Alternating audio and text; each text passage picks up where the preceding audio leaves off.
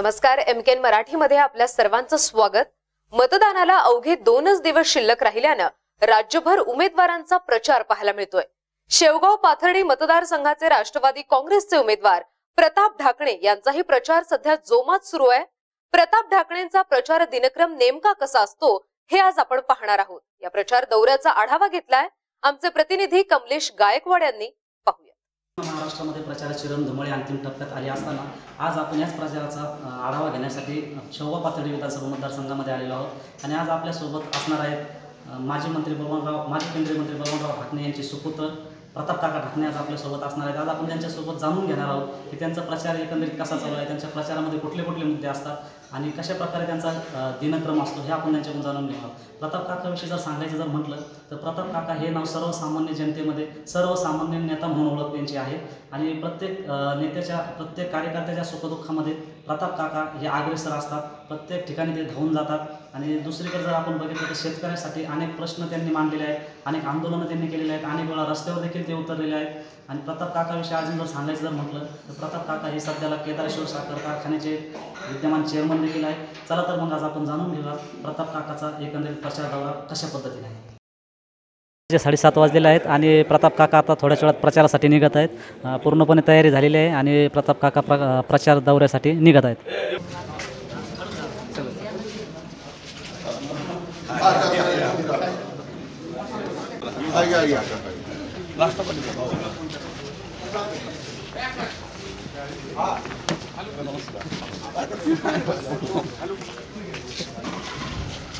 والله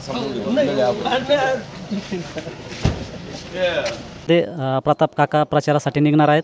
थोड्याच वेळात आता ते या गाडीमधून पूर्ण प्रचाराला निघतील. पूर्ण आज पाथर्डीमध्ये त्यांच्या एकूण एकंदरीत आज आठ आठ प्रचार सभाचं आयोजन करण्यात आलेलं आहे. आणि आज दिवसभर काका ह्या गाडीमधून प्रचार करणार आहेत. नमस्कार एम के नमस्कार नमस्कार. तुम्ही सकाळी किती वाजता बाहेर पडता? संध्याकाळी किती वाजता परत येता?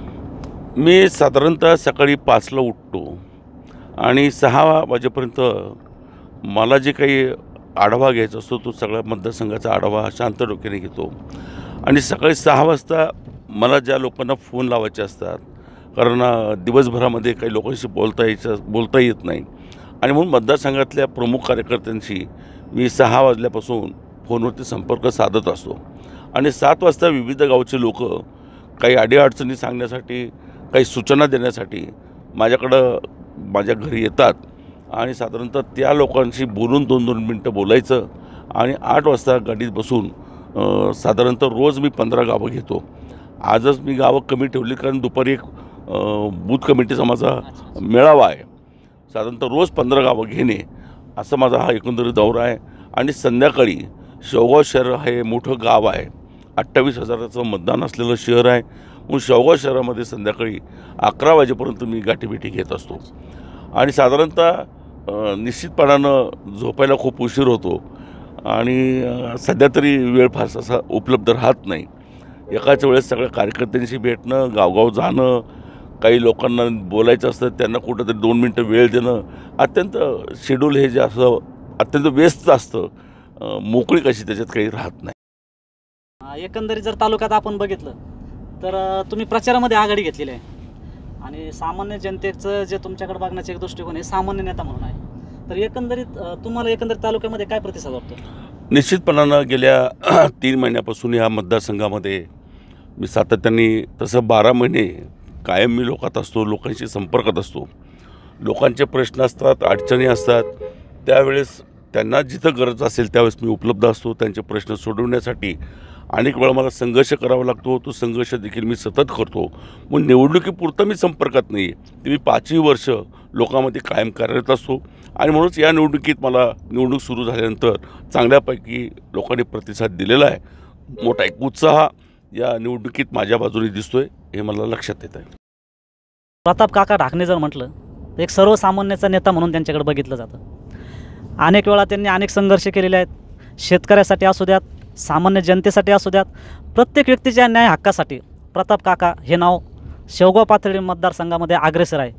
आणि प्रत्येक संघर्षामध्ये रस्त्यावर उतरून त्यांनी अनेक आंदोलनं करून या ठिकाणी जनतेला न्याय मिळवून देण्याचा प्रयत्न केलेला आहे. म्हणूनच कदाचित आज प्रचारामध्ये आघाडी घेऊन प्रत्येक गावागावामध्ये त्यांना अतिशय प्रतिसाद मिळत आहे. सष्ट साली या तालुक्यामध्ये लाइट नव्हती वीज नव्हती. आणि आदरणीय बबनराव ढाकणे साहेब यांनी त्यावेळेस हिंदुस्थानाच्या इतिहासातली पहिली घटना आहे की विधानसभेच्या अधिवेशनात सभागृहामध्ये प्रेक्षक गॅलरीत जाऊन ढाकणे साहेबांनी वसंतराव नाईक साहेब मुख्यमंत्री होते आणि पत्रकं सभागृहात फेकली उडी टाकता टाकता ग सिक्युरिटी गार्डने पकडलं. आणि ढाकणे घोषणा दिल्या की पाथर्डी तालुक्याला न्याय द्या. कारण इथं वीज नव्हती रस्ते नव्हते कुठल्याच सुविधा नव्हत्या. आणि त्यावेळेस ढाकणे साहेबांच्या संदर्भामध्ये तीन दिवस सभागृहात चर्चा झाली.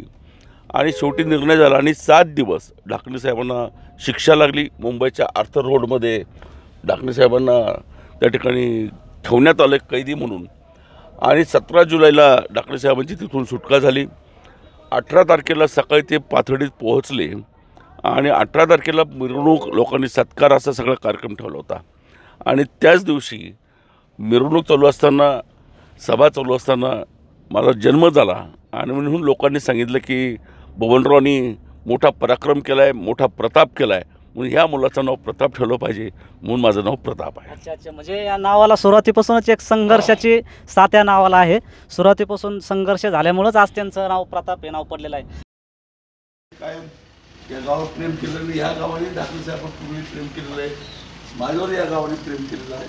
त्याच्यामुळं सगळं विनंती करतो वेळ कमी आहे.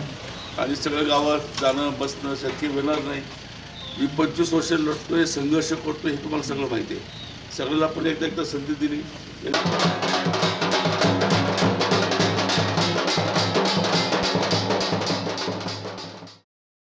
तर एकंदरीत काका शेवगाव पाथर्डी विधानसभा मतदारसंघामध्ये आपलं काय विजन आहे? नाही शेवगाव असेल पाथर्डी असेल ह्या दोन तालुक्याचा हा मतदारसंघ आहे. आणि दोन्ही तालुक्याचा पूर्व भाग हा शेतीच्या पाण्यासाठी आणि पिण्याच्या पाण्यासाठी वंचित आहे. आणि म्हणून या दोन्ही तालुक्यात माझा जाहीरनामा मी अनेक वेळा सांगितलेलं की इतर कोणत्याही गोष्टीपेक्षा मला या दोन्ही तालुक्याच्या पूर्व भागासाठी शेतीचं पाणी आणि पिण्याचं पाणी याची व्यवस्था केल्याशिवाय हा भाग सुधरू शकत नाही. या पाथर्डीच्या पूर्व भागात ऊसतोडणी कामगार मोठ्या संख्येने राहतो. म्हणून या ऊसतोडणी कामगारांचे कष्ट कमी करायचे असेल त्यांच्या हातातला कोयता बाहेर काढायचा असेल तर या ठिकाणी कुठल्याही परिस्थितीमध्ये त्यांना शेतीसाठी पाणी निर्माण करून द्यावं लागेल. तर हा तोंडी कामगार सुखात राहू शकतो. आणि मग मला संधी भेटल्यानंतर पूर्ण पाच वर्ष ह्या पाण्यासाठीच मला संघर्ष करायचा आहे. त्या लोकांना पाणी मिळून द्यायचं आहे शेवगाच्या ही पूर्व भागामध्ये जायकवाडीचं मोठं धरण आहे. त्या जायकवाडीच्या धरणाच्या जमिनी ह्या शेवगा तालुक्यातल्या शेतकऱ्यांच्या आहेत. अगदी सातशे रुपये भावाने त्या जमिनी शासनाने त्यावेळेस घेतल्या आहेत. परंतु त्या ठिकाणी पूर्व भागाला पाणी शे जायकवाडीचं मिळत नाही आहे म्हणजे जसं आपण म्हणतो धरण उशाशी आहे परंतु कोरड घशाशी आहे अशी परिस्थिती आहे म्हणून तिथल्याही लोकांचा पाण्यासाठी संघर्ष या पाच वर्षात मला करावा लागेल. नमस्कार आपण आलेलो पाथर्डी तालुक्यामध्ये चेडे चांदगाव या गावामध्ये. आपण या गावामध्ये नेमके कोणाची हवा आहे ते आपण जाणून घेऊयात. आपल्यासोबत काही मतदार आहेत आपण त्यांना विचारूया अं, काका तुमच्या गावामध्ये काय वातावरण आहे नेमकं? कोणाची हवा आहे? आमच्या गावामध्ये म्हणजे असं आहे, कोणत्याच कामात झालेच नाहीत. पाच वर्षामध्ये म्हणजे काम झालं नाही काही नाही. आणि जवळजवळ ढाकणे साहेब यायलाच पाहिजे आमच्या परिसराला. पाहिजे म्हणजे ढाकणे साहेबच का हा इथं का तर कारखाना त्यांचंच झालेलं आहे आमच्या भागाला. आणि मोनिकाताईंनी कामं केले नाही का? काहीच कामं केलेच नाहीत आमच्या गावाला पाणीसुद्धा प्यायला दिलं नाही. आमच्या गावामध्ये मारामारी झाली तरी पण समजा आमच्या गावाला काही सूचना काहीच काही लोक गावातून गेले तिथं पण काहीच काम केलं नाही. तालुक्यामध्ये हवा कोणाची आहे सध्या? सध्या तालुक्यामध्ये ढाकण्याचीच हवा चालायला पाहिजे आजच्याला. त्यांना पण विचारूयात की नेमकं या गावामध्ये अं, का- विकास कामं झालीत का नाही झाली तुमच्या गावामध्ये काही विकास कामं झालीत का? काहीच नाही. आमच्या वस्तीवर पाणी सुद्धा एक वर्ष पाणी सुद्धा आलेलं नाही. आम्हाला पाण्याचं काही टेन्शन होतं. तरी पण कोणी आमच्या गावात येऊन पाहिलं सुद्धा काहीच नाहीये. मग आता कोणाला आमदार करायचंय तुम्हाला? ढाकणे. ढाकणे काका हो, हा. करायचं आमदार? मग आमच्या सोयीसाठी ना आम्हाला पाहिजे ना अशा सोयी जागा पाहिजेत ना मग. हा. तुम्हाला काय वाटतंय? आम्हाला तेच वाटतंय. रोड झाले पाहिजेत पाणी आलं पाहिजे दुसरं काय नाही. आमदार म्हणून कोणाला पसंती आहे तुमची? धाकणे साहेब. मी गेली पंचवीस वर्ष राजकीय जीवनामध्ये कार्यकर्ता म्हणून सातत्यानं काम करतो आहे संघर्ष करतो आहे मी दोन विधानसभेच्या निवडणुका लढवल्या. पहिल्या विधानसभेच्या निवडणुकीला हा मतदारसंघ नव्हता. पूर्वीचा जुना मतदारसंघ होता. पाथर्डी तालुका होता आणि बोदेगाव भागातले पस्तीस गावं होते. आणि शेवगाव नेवासा असा मतदारसंघ होता. त्यावेळेस अगदी थोडक्यात पराभूत झालो. दोन हजारच्या नऊला पुनर्रचना झाली. हा नवीन मतदारसंघ अस्तित्वात आला. आणि त्यावेळेसही नवीन मतदारसंघ असताना देखील मोठी लढत मी दिली. परंतु दुर्दैवाने पराभव पत्करावा लागला. तरी मी ह्या सगळ्या काळामध्ये पंचवीस वर्षात कुठंतरी पराभूत झालो आहे म्हणून खचलो आहे कुठंतरी थांबलो आहे ही भूमिका मी कधीच ठेवली नाही. माझ्या मनामध्ये सकारात्मक भूमिका ही राहिली. राजकीय जीवनामध्ये आपण कार्यकर्त्याचा पिंड आहे. कार्यकर्ता म्हणून लोकांसाठी लढलं पाहिजे. लोकांचे प्रश्न घेऊन चाललं पाहिजे. त्यांच्या प्रश्नाला लोकशाहीमध्ये सत्ता नसली तरी सत्तेवरती दाब निर्माण करून प्रश्न सोडवता येतात हे मी अनुभवानं सांगतो. आणि सातत्याने रस्त्यावरती उतरून लोकांच्या प्रश्नाला न्याय द्यायची भूमिका मी ठेवली. आणि म्हणून यामुळं लोकांना माझा संघर्ष हा दिसतोय. लोकांनी भूमिका घेतली की पंचवीस वर्ष संघर्ष करणाऱ्या कार्यकर्त्याला एकदा तरी न्याय दिला पाहिजे.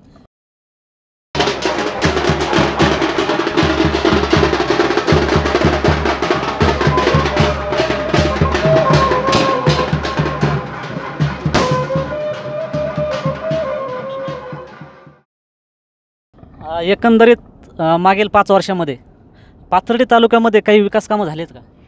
नाही दुर्दैवाने केवळ मी आज विरोधक आहे त्यांचा विद्यमान आम उमेदवाराचा म्हणून मी बोलत नाही. त्यांनी अकराशे कोटी रुपये ह्या मतदारसंघात आणले असं सांगितलं. आज मी मतदारसंघात कोणत्याही गावात गेलो तर त्यांना सांगतो की ह्या त्यांनी एक पत्रिका छापली छापली आणि प्रसिद्ध केली की अकराशे कोटीचा निधी कुठून आणला कसा खर्च केला आणि कोणत्या गावात काय दिलं. तर मी आज प्रत्येक गावात गेल्यानंतर विचारतो की ह्या पत्रकामध्ये सांगितलं की ह्या गावामध्ये हे वीस लाख रुपयाचा निधी दिलेला आहे. तर लोक सांगतात की एक रुपयाचाही निधी तर आलेला नाही. कुठल्याही प्रकारचं विकासाचं काम झालेलं नाही. ती आकडेवारी पाहिली बारकाईनं. तर शासनाच्या विविध ज्या योजना असतात मग तुम्ही त्या आमदाराचा त्याचा काही संबंध नाही आहे त्यासुद्धा योजना त्याच्यात टाकल्यात आणि तुम्ही अकराशे कोटीच्या गप्पा मारल्यात. पंचवीस पंधरा नावाचा हेड असतो ग्रामपंचायतला. राजीव गांधी स्वर्गीय राजीव गांधी पंतप्रधान असताना त्यांनी ही भूमिका घेतली की ग्रामपंचायतलाच थेट निधी गेला पाहिजे पंचायत राजच्या माध्यमातून. आणि मग तो पैसा शासनाकडनं डायरेक्टली हा ग्रामपंचायतला येतो गावाच्या विकासासाठी. तेही पैसे त्याचे त्यांनी हिशोबाला धरले त्याच्यानंतर अशा अनेक योजना आहेत की ज्याचा आमदाराचा काही संबंध नाही. असं करून ती बनवाबनवी केलेली आहे. त्याच्यात शासनाच्या विविध योजनाच्या व्यतिरिक्त खऱ्या अर्थानं आमदारानं महाराष्ट्र शासनाच्या बजेटमधून जे काही पैसे आणायचे असतात अशा प्रकारचा निधी या मतदारसंघात आमदाराला आणता आला नाही हे शंभर टक्के खरं आहे.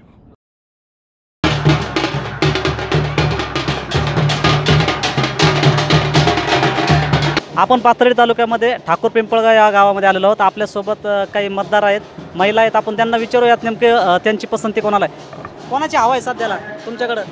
आमाकडं प्रतापची. प्रताप काकाची हा. अ, कोण कोणाची हवा आहे तुमच्याकडं? काकाचीच प्रताप कोणते काकाची. काका? प्रताप काका ढाकणे. का बरं मोनिका ताईंची नाही का? नाही.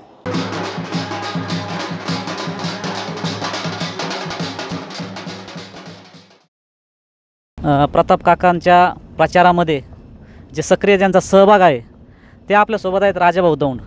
आपण त्यांना विचारूयात नेमकं एकंदरीत काय परिस्थिती आहे तालुक्याची? हं? भाऊ नमस्कार. नमस्कार. एम के एनमध्ये आपलं स्वागत आहे. आभारी अ, एकन एकंदरीत प्रताप काकांची काय परिस्थिती आहे या तालुक्यामध्ये? या तालुक्यामध्ये या मतदारसंघामध्ये गेली पंचवीस वर्ष काकांबरोबर आम्ही सावलीसारखं राहिलो आहोत. त्यांचा पूर्ण परिसरामध्ये त्याग किंवा संघर्ष जो डोळ्यांनी पाहिलेला आहे म्हणून या मतदारसंघामध्ये सर्वसामान्यातला सर्वसामान्य माणूस आज काकाबरोबर आहे. आणि निश्चित स्वरूपात मी तुम्हाला खात्रीला एक सांगतो की मागच्या चौदा साली भावनेच्या भरामध्ये ज्या मताच्या मताधिक्याने विद्यमान आमदार निवडून आल त्या त्यापेक्षा पाच मतं व्हायना जास्त यावेळेस काकांच्या पाठीमागे राहतील आणि विक्रमी मतांनी काका निवडून दिली ही सर्व मतदाराला आम्हाला कार्यकर्त्यांना खात्री आहे. एकंदरच भाऊंचं पण असं म्हणणं आहे की एकंदरीतच प्रताप काका हे चांगल्या मताधिक्याने निवडून येतील.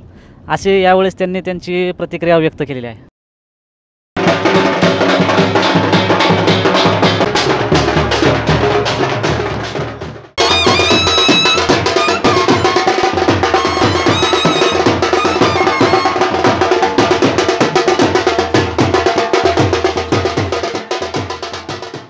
तर हा होता शेवगाव पाथर्डी मतदारसंघाचे राष्ट्रवादी काँग्रेसचे उमेदवार प्रताप ढाकणे यांचा प्रचार कार्यक्रम. यंदा या मतदारसंघात चुरशीची लढत पाहायला मिळते त्यामुळे कोण बाजी मारणार हे पाहणं महत्वाचं ठरेल. आजच्या विशेष भागात आपण इथेच थांबतोय. ताज्या बातम्यांसाठी बघत रहा एम के एन मराठी प्रतिबिंब वास्तवतेचं. नमस्कार.